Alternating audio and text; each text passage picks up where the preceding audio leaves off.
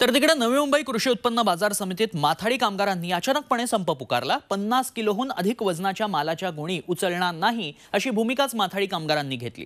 मात्र या संपामुळे शेतकऱ्यांचा माल पडून राहिल्यानं त्यांचं मोठं नुकसान झालं.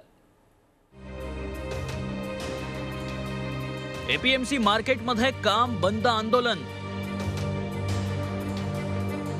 पन्नास किलोपेक्षा जास्त वजनाची गोणी उचलण्यास विरोध. माथाड्यांचा असहकार शेतकऱ्यांचं नुकसान.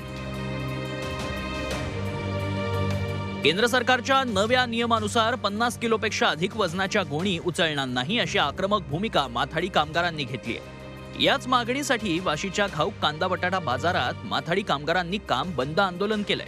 जास्त वजनाच्या गोणी असलेल्या गाड्या बाजार समितीच्या आवारात घेण्यासही माथाडी कामगारांनी विरोध दर्शवलाय.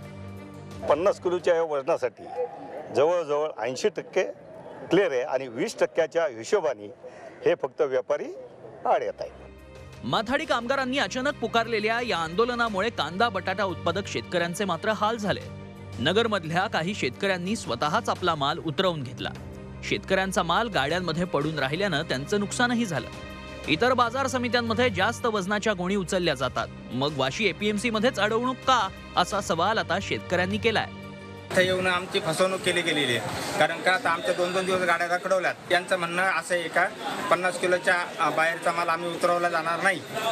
तर मग आम्ही ब- आता आता ह्या गाड्या काय करायच्या? तर राज्यातील सर्व बाजार समित्यांमध्ये गोण्यांच्या वजनांबाबत एकच नियम असावा अशी मागणी व्यापाऱ्यांनी केली आहे. हा कायदा लागलाय तो हा कायद्याची अंमलबजावणी माथाडी युनियननी फक्त वाशी मार्केटलाच केलेली आहे. आमचं म्हणणं असं आहे की जर याची अंमलबजावणी तुम्ही अख्ख्या महाराष्ट्रात केली तर मग महाराष्ट्रामधले तीनशे दोन बाजार समित्या आहेत. तिथे अंमलबजावणी झालेली नाही आहे मग ती अंमलबजावणी फक्त इथेच करतात. तिथे अंमलबजावणी झाली तिकडनं जर पन्नास किलो पॅकिंग झालं तर आम्हाला विकायला काय अडचण नाही ना? पन्नास किलोपेक्षा अधिक वजनाच्या गोणी उचलणार नाही. ही माथाडींची भूमिका अगदीच योग्य आहे. पण याबाबत राज्यभरात एकच नियम असायला हवा. जेणेकरून शेतकरी जास्त वजनाच्या गोणी भरणार नाहीत आणि अचानक पुकारलेल्या आंदोलनानं त्यांचं नुकसानही होणार नाही. स्वाती नाईक झी चोवीस तास वाशी. मराठ्यांची तळपती तलवार म्हणजे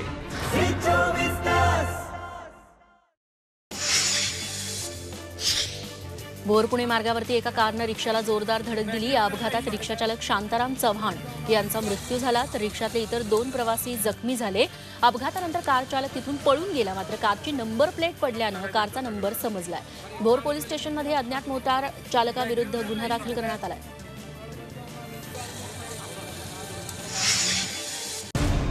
मराठ्यांची तळपती तलवार म्हणजे